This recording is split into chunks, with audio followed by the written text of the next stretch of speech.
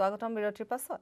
পুনৰ এবছৰৰ বাবে মৰ্থৰ পৰা বিদায় মাগিলে দুৰ্গতি নাশিনী দেৱী দুৰ্গাই। বিজয়া দশমীৰ দিনা অশ্ৰুসিক্ত নয়নেৰে দেৱী মাক বিদায় জনালে ভক্তপ্ৰাণ ৰাইজে। চৰকাৰী বাধা নিষেধৰ মাজতে নদী ঘাটসমূহত বিসৰ্জন দিলে দেৱীৰ প্ৰতিমা। আৰু দেৱীৰ বিদায় পৰ্বত শদিয়াৰ পৰা ধুবুৰীলৈ ভক্তৰ আনন্দ উল্লাস দেখিবলৈ পোৱা গ'ল। নাচি বাগি আনন্দত আত্মহাৰা হৈ পৰিল ভক্তপ্ৰাণ ৰাইজ।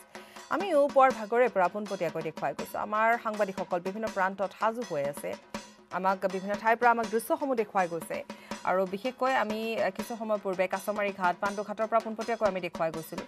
সেই উৎসাহ দেখিবলৈ পোৱা গৈছে। পূৰ্বতকৈ কিছু ম্লান ক'ভিডৰ বাবে। কিন্তু তথাপিতো যিহেতু যোৱাটো বৰ্ষত পূজা নহ'ল এইবেলি যিহেতু পূজা হৈছে গতিকে তাকে লৈও ৰাইজ যথেষ্ট উৎসাহিত। এই মুহূৰ্তত আমি উৎপলৰ সৈতে সংযুক্ত হৈছোঁ। শাওকুচিত আছে উৎপল। আমি আপোনাৰ ওচৰলৈ আহিছোঁ উৎপল। আপোনাৰ জৰিয়তে আমাৰ দৰ্শকসকলক আমি দৃশ্য দেখুৱাম। উৎপল।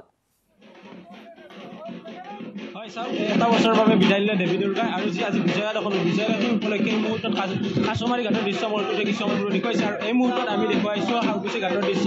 শাওকুচি ঘাটত এনেদৰে এখনৰ পিছত আন এখনকৈ বাহন আহিছে। প্ৰায় এতিয়ালৈকে পঞ্চাছটাকৈ মূৰ্তি প্ৰতিমা ইতিমধ্যে বিসৰ্জন দিয়া হৈছে। আৰু যদিও চোৱা যায় কাক দলৰ শব্দৰে এতিয়া এই অঞ্চল মুখৰিত হৈ পৰিছে।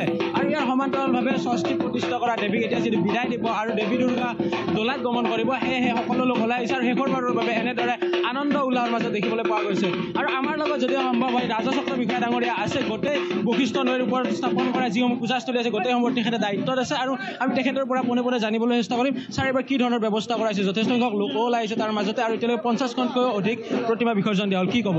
হয় আমাৰ বেতকুচি ঘাটত বৰ্তমান পঞ্চাছখনতকৈ অধিক প্ৰতিমা বিসৰ্জন দিয়া হৈছে এতিয়ালৈকে। যথেষ্ট মানুহৰ সমাগম ঘটিছে।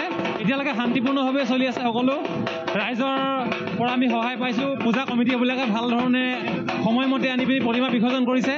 আমি আশা কৰিছোঁ সন্ধিয়া আঠ বজাৰ পিছত আমি ইয়াত শেষ কৰিব পাৰিম। ইতিমধ্যে বিষয়াগৰাকীয়ে স্পষ্ট কৰি কৈছে। আঠ বজাৰ পূৰ্বে যিমানখিনি পূজা কমিটি আহিব সকলোখিনি সমাপ্ত কৰিব। কিন্তু আঠ বজাত সম্ভৱ নহয়। কাৰণ যদিও চোৱা যায় জালুকবাৰীৰ পৰা আপোনাৰ খানাপাৰালৈকে আৰু গুৱাহাটী মহানগৰীৰ ফাটাচিলৰ পৰা যিমানখিনি অঞ্চল আছে বা এই অঞ্চলত প্ৰায় তিনিশতকৈ অধিক পূজা আছে তাৰে এশখন পূজা কমিটিয়ে প্ৰত্যেক বছৰে এই স্থানলৈকে আহে আৰু প্ৰতিমা বিসৰ্জন দিয়ে। ইয়াৰ সমান্তৰালভাৱে কিন্তু ঢাক ঢোলৰ শব্দৰে ইতিমধ্যে এই পৰিৱেশ মুখৰিত হৈ পৰিছে। আৰু যদি সম্ভৱ হয় কমিটিৰ বিষয়ববীয়াৰ পৰাও আমি কিছু কথা জানিবলৈ চেষ্টা কৰিম। দাদা এতিয়ালৈকে কিমান কমিটি আহিলে আৰু কিমান আহিব বুলি আশাবাদী কিমান লগ হৈছে আপোনালোকৰ কি কি ব্যৱস্থা কৰা হৈছে? আমাৰ যোৱাবাৰ ছেভেণ্টি টু আছিলে কিন্তু আজি এতিয়ালৈকে আমাৰ ফিফটি প্লাছ হ'ল এতিয়ালৈকে। বাকীখিনি আহিব আছে। আশা কৰিছে আৰু ৰাইজৰ বাবে কি ধৰণৰ ব্যৱস্থা কৰিছে? আমাৰ ব্যৱস্থাটো সুন্দৰভাৱে কৰা হৈছে চি চি টিভি কেমেৰা আছে পানী ব্যৱস্থা আছে ৰাইজৰ আমাৰ মেম্বাৰখিনি সহযোগ কৰি আছে লাইটৰ ব্যৱস্থা আছে। আৰু আমি আশা কৰোঁ আৰু হয়তো দুঘণ্টামানৰ ভিতৰত গোটেইখিনি আহি পাব। পানী নষ্ট হ'ব বুলি এইবাৰ ইয়াত প্লাষ্টিক বৰ্জনো কৰা হৈছে কি কি সিদ্ধান্ত লৈছে? আমি তাৰমানে অলপ আগত মানে ধাৰি বেৰ দি কেনে খুটি পুটি নদীত মানে বেৰ দিছোঁ যাতে পানীখিনি অকল যাব পাৰে প্লাষ্টিক বা এনেকুৱা বস্তু যাব নোৱাৰে। সেই বস্তুখিনি পিছত আমি উঠাই দিম নদীটো চাফা কৰি থ'ম। এয়া আছিল কমিটিৰ বিষয়ববীয়াৰ শস্য এটা তাৎপৰ্যপূৰ্ণ বা উল্লেখযোগ্য ঘটনা ক'ব লাগিব বা দিশ ক'ব লাগিব। তেখেতসকলে বেৰ দি লৈছে যাতে প্লাষ্টিক কোনো পধ্যে নদী আৱৰ্জনা কৰিব নোৱাৰে বা নদী লেতেৰা কৰিব নোৱাৰে অপৰিষ্কাৰ কৰিব নোৱাৰে। তাৰ বাবে এতিয়া নদীত প্লাষ্টিক বৰ্জন কৰা হৈছে আৰু যিসমূহ প্লাষ্টিক আহিছে সেই প্লাষ্টিকসমূহ বাহিৰতে অন্য এটা পৃথক স্থান ৰখা হৈছে আৰু সেই স্থানত সেইসমূহ দম কৰি ৰখা হৈছে। আৰু পোনপটীয়াকৈ দেখুৱাইছোঁ এই মুহূৰ্তত নিউজ এইটিনখন নৰ্থ ইষ্টৰ দৰ্শকসকলক এখনৰ পিছত আন এখনকৈ পূজা কমিটি আহিছে। আৰক্ষী প্ৰশাসনৰ লোক ইয়াতে যথেষ্ট তৎপৰ হৈ আছে। তাৰ সমান্তৰালভাৱে এছ ডি আৰ এফ সকলোৱে তৎপৰ হৈ আছে। যদি সম্ভৱ হয় ফটাইছিলো আৰক্ষীৰ অধীক্ষক ডাঙৰীয়া আছে ভাৰপ্ৰাপ্ত বিষয়া তেখেতৰ পৰাও কিছু কথা জানিবলৈ ছাৰ কিমানখিনি পূজা আহিছে আপোনালোকে কি ধৰণৰ ব্যৱস্থা কৰিছে? নহয় এতিয়ালৈকে আমাৰ পঞ্চাছটাৰ ওপৰত প্ৰতিমা বিসৰ্জন হ'ল পূজাথলীৰ। আৰু এতিয়ালৈকে আহিয়ে আছে। আৰু আমাৰ প্ৰশাসনিক ব্যৱস্থা মানে মানুহ যথেষ্টখিনি দিয়া হৈছে আৰু কমিটি ধুনীয়াকৈ পৰিচালনা কৰি আছে। আৰু আশা কৰোঁ মানে ভালমতে হৈ যাব। আৰু ভক্তসকলে তেখেতলোকে বিচৰা ধৰণে বিসৰ্জন ধলি বিসৰ্জন দিব পাৰিব। নিৰাপত্তাৰ ক্ষেত্ৰত কি ধৰণৰ ব্যৱস্থা গ্ৰহণ কৰিছে যিহেতু অসংখ্য লোক আহিছে এই স্থানত যদি চোৱা যায়। নহয় আমাৰ ইয়াৰ পৰা যথেষ্টখিনি মানুহ দিয়া হৈছে। আমাৰ তেখেতকো দিয়া হৈছে আৰু আমাৰ থানাৰ পৰা উৎপল ধন্যবাদ জনাইছোঁ। উৎপলে আমাক দেখুৱালে আৰু বিশেষকৈ তাত যিহেতু সুৰক্ষা ব্যৱস্থাও কটকটীয়া কৰি ৰখা হৈছে। যিটো সময়সীমা বান্ধি দিয়া হৈছে সেয়া ইমান সহজ কথা নহয় বুলি উৎপলে এটা ধাৰণা কৰিছে যে ইমান সোনকালে বিসৰ্জন দিয়া নহ'ব শেষ নহ'ব। গতিকে হয়তো আৰু অধিক সময় লাগিব। গতিকে এই সময়ছোৱাত আৰক্ষী লোকো থাকিব আৰু যাতে কোনো ধৰণৰ অপ্ৰীতিকৰ ঘটনা বা পৰিস্থিতিৰ সৃষ্টি নহয় বা উদ্ভৱ নহয় তাৰ প্ৰতি লক্ষ্য ৰাখিব। ধন্যবাদ উৎপল।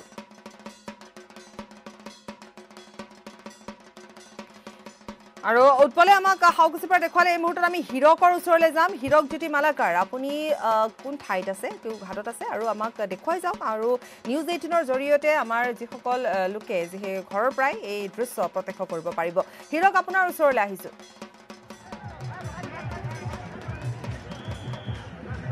হয় পাপৰি মই বৰ্তমান কাছমাৰী ঘাটত উপস্থিত আছোঁ। কাছমাৰী ঘাটৰ পুৱাৰ ভাগৰ পৰা যিহেতু চাৰে এঘাৰ বজাৰ পৰা বিশ্বকৰ্ম পূজা আৰম্ভ হৈছে আৰু এই মুহূৰ্তত দেখিছে এখনৰ পিছত আনখন পূজাস্থলীৰ প্ৰতিমা বিসৰ্জন কৰিবৰ বাবে ওলাই আহিছে আৰু এই মুহূৰ্তত জানিব পৰা অনুসৰি এশ পঁচিছখনৰ অধিক প্ৰতিমা বিসৰ্জন কৰিছে আৰু যিহেতু প্ৰশাসনে দহ বজালৈকে সময় নিৰ্ধাৰণ কৰি দিছে যিহেতু উপায়ুক্তগৰাকীয়ে জনোৱা মতে দহ বজাৰ ভিতৰত আজি সকলো প্ৰতিমা সমাপ্ত কৰা হ'ব যোহা মহানগৰী যিবোৰ পূজা হৈ পূজা মহানগৰত যিসমূহ পূজা হৈছে সেই পূজাসমূহৰ সমূহৰ ভিতৰত দুশ পঞ্চাছখনৰ পৰা দুশ সত্তৰখন পূজাৰ পূজাৰ যি প্ৰতিমা আছে সেই প্ৰতিমা ইয়াতে বিসৰ্জন দিয়া হ'ব আৰু এই মুহূৰ্তত আপোনালোকক কাছমাৰী ঘাটৰ পৰিৱেশ দেখাইছোঁ আৰু কাছমাৰী ঘাটৰ যি বাহিৰত যি পৰিৱেশ চাব যায় বাহিৰত সকলোৱে বিসৰ্জন চাবৰ বাবে ওলাই আহিছে সকলো লোক ওলাই আহিছে কিন্তু প্ৰশাসনে তেওঁলোকৰ নীতি নিৰ্দেশন নীতি নিৰ্দেশনা যিসমূহ বান্ধি দিছে সেই অনুসৰি তেওঁলোকক এই স্থানৰ পৰা তেওঁলোকে আগলৈ যোৱা যাবলৈ দিয়া হোৱা নাই। আৰু যিসমূহ পূজা কমিটিৰ লোক আছে সেই পূজা কমিটিৰ লোকসকলে এই স্থানলৈ এই- স্থানৰ পৰা কেৱল এজন লোককহে যাবলৈ দিছে সকলো নিৰাপত্তা ব্যৱস্থা কটকটীয়া কৰি তুলিছে আৰু এই মুহূৰ্তত আৰক্ষী বিষয়া আছে মই তেওঁলোকে কথা পাতিম। ছাৰ বিষয় বিসৰ্জন প্ৰক্ৰিয়া কিমান দেৰিলৈকে কিমান দেৰিলৈকে চলিব? যেতিয়ালৈকে শেষ নহয় তেতিয়ালৈকে আমাৰ এইটো চলিয়ে থাকিব। আজি শেষ হ'ব আজি আজি আজি শেষ কৰিব। এতিয়ালৈকে কিমানমান পূজা এশ ষাঠিমান হৈছে। One sixty. ধন্যবাদ জ্ঞাপন কৰিছোঁ আৰু এই ভিতৰ পৰিৱেশ দেখাবলৈ চেষ্টা কৰিম যিহেতু ভিতৰত যিহেতু প্ৰতিমাসমূহ অনা আনি থকা হৈছে আৰু এই মুহূৰ্তলৈকে এশ এশ ষাঠি ষাঠিখনৰ অধিক পূজাৰ প্ৰতিমাৰ বিসৰ্জন দিয়া হৈছে আৰু সকলোৱে যিহেতু নৃত্য বা নাচি বাগি প্ৰতিমা বিসৰ্জন দিবলৈ আহিছে যিহেতু ষষ্ঠী বেদীত প্ৰতিষ্ঠা কৰাৰ পিছতে আজি দশমী আৰু দশমী দিনাখন যিসমূহ পূজা কমিটি আছে গুৱাহাটী মহানগৰী পূজা কমিটিসমূহে এনেদৰে প্ৰতিমা বিসৰ্জন দিয়া দৃশ্য দেখিবলৈ পোৱা গৈছে আৰু এই দৃশ্য হৈছে কাছমাৰী ঘাটৰ ঘাটৰ পৰিৱেশ আৰু কাছমাৰী ঘাটত যিহেতু শান্তিপূৰ্ণভাৱে বিসৰ্জন প্ৰক্ৰিয়া আৰম্ভ হৈছে আৰু উপায়ুক্তগৰাকীয়ে জানিব দিয়া অনুসৰি আজি বিসৰ্জন প্ৰক্ৰিয়া সমাপ্ত নহ'লে কালি হ'লেও কৰিব কিন্তু আজি যিহেতু দহ বজালৈকে দহৰ পৰা চাৰে দহ বজালৈকে বিসৰ্জন প্ৰক্ৰিয়া চলিব বুলি কৈছে আৰু এই মুহূৰ্তত দেখিছে আপুনি প্ৰত্যেকখন পূজাৰ যিসমূহ গুৱা- গুৱাহাটী মহানগৰী পূজা কমিটি আছিল সেই পূজা কমিটিৰ সৈতে সকলোমূহে বিসৰ্জন প্ৰক্ৰিয়া ইতিমধ্যে দিবলৈ আনিছে আৰু এই স্থানৰ পৰা তেওঁলোকৰ যি ঠেলা গাড়ী আছে সেই ঠেলা গাড়ীৰে পূজাৰ প্ৰতিমাসমূহ বিসৰ্জন বিসৰ্জন দিয়া দিয়া হৈছে আৰু কেৱল এজন লোককহে এই স্থানৰ পৰা যাবলৈ দিয়া হৈছে আৰু প্ৰত্যক্ষ কৰিব যে যি নদী নদী ব্ৰহ্মপুত্ৰ নদী পাৰ আছে সেই নদী হীৰক খুব শৃংখলাবদ্ধভাৱে আচলতে এই এটা পৰিৱেশ তাত সৃষ্টি কৰা হৈছে নহয়নে হীৰক? কাৰণ দেখিবলৈ পোৱা গৈছে সাধাৰণতে যেতিয়া বিসৰ্জনৰ সময় হয় যথেষ্ট সংখ্যক লোকৰ এটা ভিৰ তাত হয়। কিন্তু দেখিবলৈ পোৱা গৈছে ইমান সুন্দৰকৈ তাত প্ৰতিমাসমূহ তাত থোৱা হৈছে। আপুনি যেতিয়া আপোনাৰ কেমেৰা পাৰ্চনে যেতিয়া দূৰৰ পৰা লৈছিলে তেতিয়া সেই দৃশ্যটোৱে দেখিবলৈ পোৱা গ'ল যে এটা ব্যৱধান মানি ধুনীয়াকৈ প্ৰতিমাসমূহ তাত থোৱা হৈছে। কম সংখ্যক লোক তাত আছে হীৰক আৰু সুন্দৰকৈ তাত বিসৰ্জন দি থকা হৈছে। হীৰক। হয় বাবু অতি সুন্দৰকৈ শান্তিপূৰ্ণভাৱে বিসৰ্জন প্ৰক্ৰিয়া চলিছে। মই পূৰ্বতে উল্লেখ কৰিছোঁ যে এতিয়া উল্লেখ কৰি উল্লেখ কৰিম। এই স্থানত মই যি স্থানত উপস্থিত আছোঁ এই স্থানত কেৱল এজন লোককে আহিব দিয়া হৈছে। কমিটিৰ বা পূজা কমিটিৰ যি যিখন পূজা কমিটিৰ বিষয়ববীয়া আছে তেওঁকে আহিব দিয়া হৈছে। আৰু এই স্থানৰ পৰা যিসকল প্ৰশাসনে যিসমূহ লোকক নিয়োগ কৰিছে সেই সেই লোকসকল লোকসকলে ঠেলা বা অন্যান্য যিবোৰ সামগ্ৰী কঢ়িয়া গাড়ী বাহন আছে সেই বাহনলৈ লৈ যোৱা লৈ যোৱা হৈছে। আৰু অতি শান্তিপূৰ্ণভাৱে বিসৰ্জন প্ৰক্ৰিয়া যিহেতু আৰম্ভ হৈছে আৰু প্ৰশাসনে এই ক্ষেত্ৰত শলাগ ল'ব লাগিব যে প্ৰশাসনে অতি গুৰুত্বপূৰ্ণভাৱে ব্যৱস্থা গ্ৰহণ কৰিছে উপায়ুক্ত উপায়ুক্তই এই ব্যৱস্থা গ্ৰহণ কৰিছে আৰু কোনো লোককে ইয়াত ভিতৰত প্ৰৱেশ কৰিবলৈ দিয়া হোৱা নাই। এই মুহূৰ্তত দেখিছে আপুনি এখনৰ পিছত আনখন যিহেতু প্ৰতিমা বিসৰ্জনৰ বাবে আহিছে আৰু সকলোৱে ঢাক ঢোল বজাই প্ৰতিমা বিসৰ্জনৰ বাবে অহা দেখিবলৈ পোৱা গৈছে আৰু এশ ষাঠিখনো অধিক প্ৰতিমা ইতিমধ্যে বিসৰ্জন দিয়া হৈছে। আজি নিশাৰ ভাগলৈকে হয়তো সমগ্ৰ সম্পূৰ্ণ যি প্ৰতিমা আছে সেই প্ৰতিমাবোৰ বিসৰ্জন দিয়া হ'ব আৰু এনেদৰে ঢাক ঢোলৰ শব্দৰ মাজত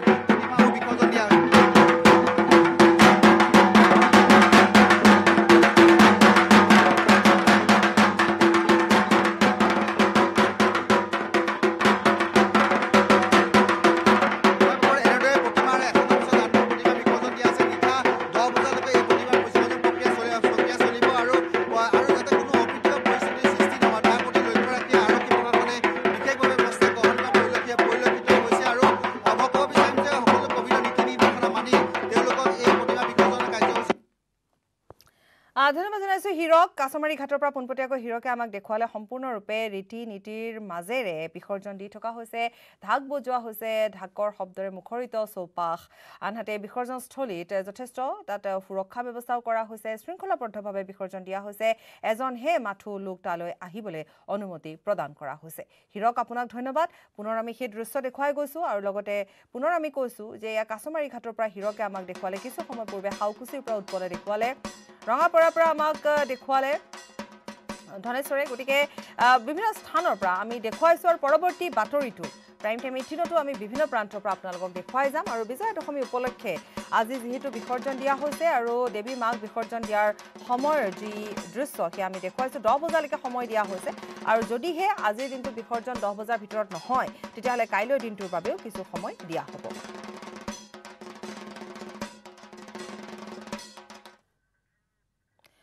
অব্যাহত ৰাখিম